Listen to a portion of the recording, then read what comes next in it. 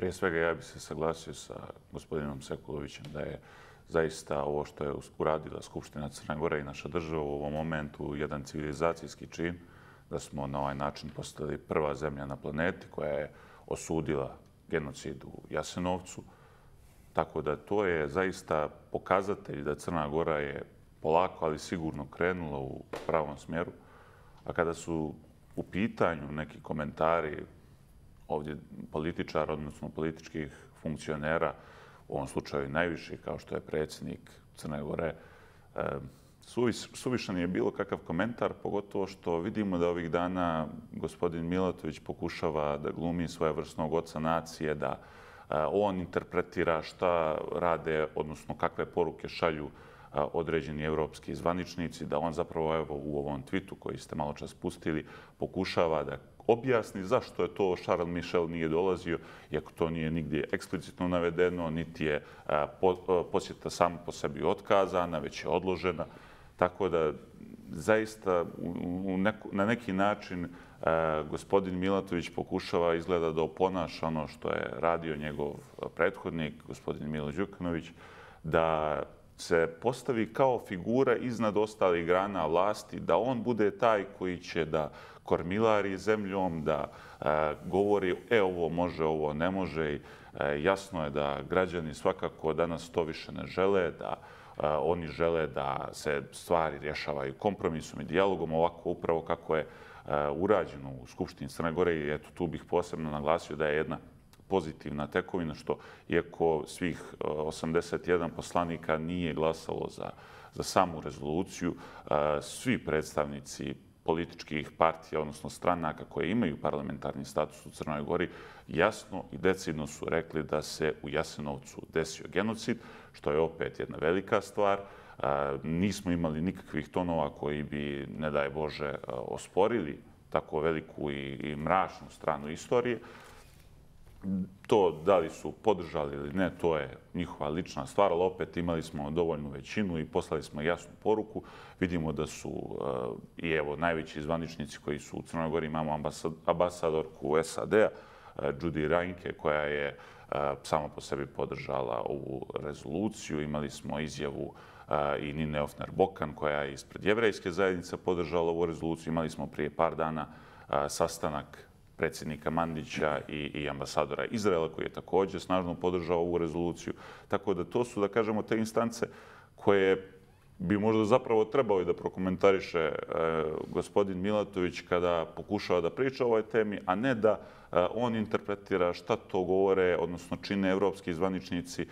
Vidimo da ga ovih dana a, neko savjetuje, to su neke nezvanične informacije, da ga savjetuju iz određenog koncerna medijskog, da ga a ode na ovaj put, ima još vremena da se vrati, on je izglasan e, i srpskim glasovima, odnosno glasovima birača koji glasaju srpske opcije, prije svega koaliciju za budućnost Crne Gore, odnosno novu srpsku demokratiju i demokratsku narodnu partiju, građani sigurno nisu glasali za e, nekog e, mini Mila Đukanovića, već su glasali protiv toga.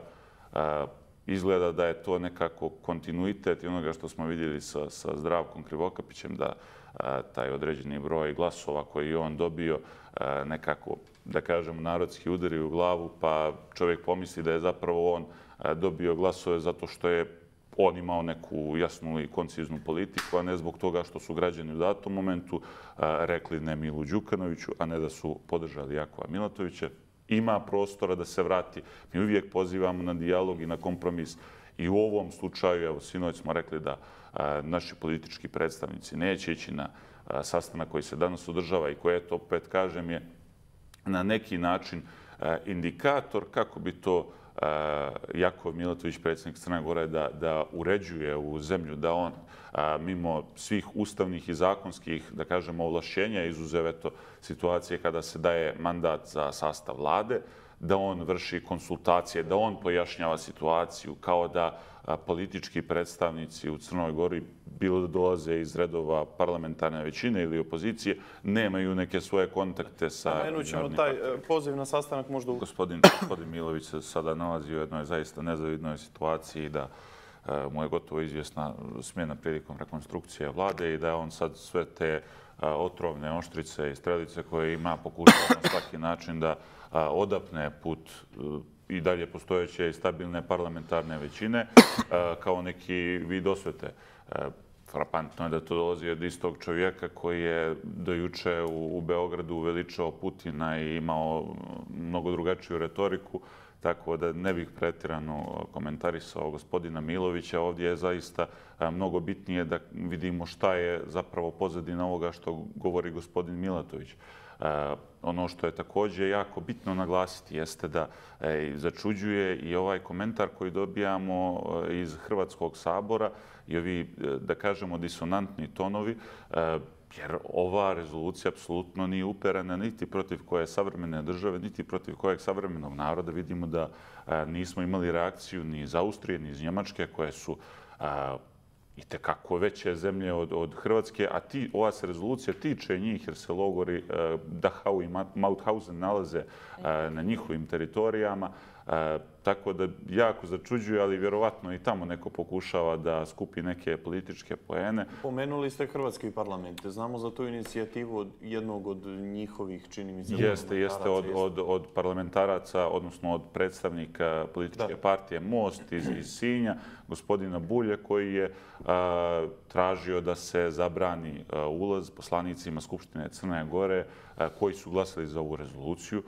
Imali smo odgovor predsjednika Mandića na, na takvu inicijativu koji je rekao dajte ljudi da razgovaramo. Pozvao je delegaciju Hrvatskog sabora da oni dođu u Crnu Goru, da budu gosti kod nas, da razgovaraju sa kolegama e, iz Skupštine Crne Gore i sa njim lično da se sve te nedoumice koje možda oni imaju oko ove rezolucije kada je u pitanju da li ona osuđuje njihovu zemlju i slično otklone, jer toga zaista nema. Evo, kogod je pročitao rezoluciju, tamo se tretiraju da, su, da je zločin počinjen nad Srbima, Jevrejima, Romima, ali i drugim narodima iz Kraljevine Jugoslavije, koje je čitao Ustav Kraljevine Jugoslavije, zna se koji su to narodi i drugim evropskim narodima koji su naravno stradali u Mauthausenu i, i u Dachau. Kakav je, kakav je odgovor? I da li dobio odgovor gospodin? Nismo, nismo još, nismo još, da znamo, još uvijek nismo dobili odgovor. Naravno, ukoliko bi to njima više odgovaralo, pretpostavljam da bi i delegacija Skupštine Crne Gore koji bi predvodio gospodin Mandić otišla i u Hrvatski sabor ako treba, jer zaista nama je stalo da imamo dobrosusjedske odnose sa svima u regionu, pa tako i sa Hrvatskom. Zaista ne vidimo zašto bi ovo trebalo da otvara bilo kakva pitanja. Ovo je civilizacijski čin, Ovo je nešto što rade sve evropske zemlje. Mislim, evo vidimo kako se odnosi Njemačka prema holokaustu. Znači, to nije, nije ništa, ništa dramatično, nije ništa strašno.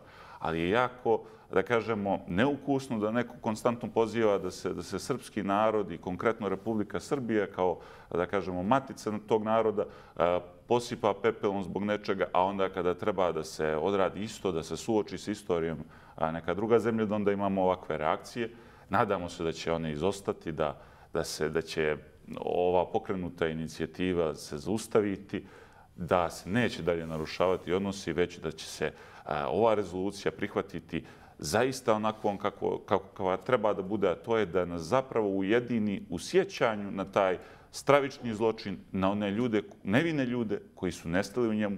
Ja lično dolazim iz porodice koja je da kažem, upropatila, odnosno moja ujčevina je, je oni su Srbi iz, iz, iz Hrvatske i oni su prošli, ogroman broj njih prošli su kroz taj sistem logora, tako da to je boljka svakog Srbina, ali evo da kažemo i, i današnjih Crnogoraca, jer pazite, Hercegovina koja nije tako daleko, znači Trebinje koja nije daleko od Nikšića je bilo u NDH.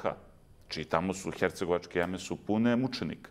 To nije nešto što je, da kažemo, bilo isključivo za neki reon Posavine, Slavonije i sl. U Jasenovcu su ubijani Hercegovci, Crnogorci. Znači, Evo, to nije ništa zbog, zbog čega, isključivo. Da li će on moći da uspostavi dalje balans između tih volje Evrope, kako on tako kaže, ili i između ljudi koji su ga glasali? I jedno od pitanja gledalaca je bilo da li je predsjednik Milatović u jednom dijelu prekoračio svoje nadležnosti. Jeste u potpunosti. To sam, ja mislim, i u prvom dijelu izlaganja jasno rekao da Ustavi i zakon ne prepoznaju sazivanje ovakvih sastanaka da on vrši konsultacije sa, sa političkim predstavnicima parlamentarnih stranaka. Samo bih se nadovezao na gospodina Sekulića.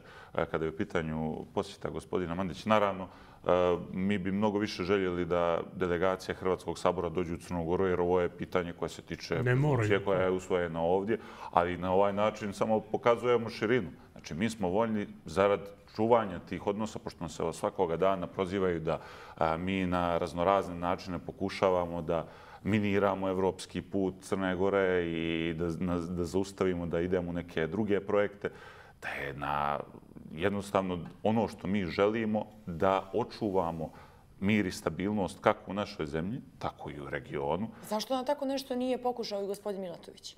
Pa očigledno da gospodin Milatović ima neke druge interese, ali opet kažem, e, mnogo bi bolje bilo kada bi delegacija Hrvatskog sabora došla ovdje, da im se objasni, I nekako bih u kontekstu ovoga što je rekao kolega Đurović kada su u pitanju određeni poslanici u Hrvatskom saboru, e, još više dobijaju na težini, težini ove riječi koje je rekao e, gospodin, odnosno predsjednik e, Crne Gore, Jakov Milatović, da se on svrstava zapravo sa tom retorikom da se usvajanjem ove rezolucije sputava evropski put Crne Gore, kada uvežemo to nekako u kontekst ljudi istih tih ljudi koji na neki način usporavaju rezoluciju u Hrvatskom saboru, to mnogo više dobija na težini.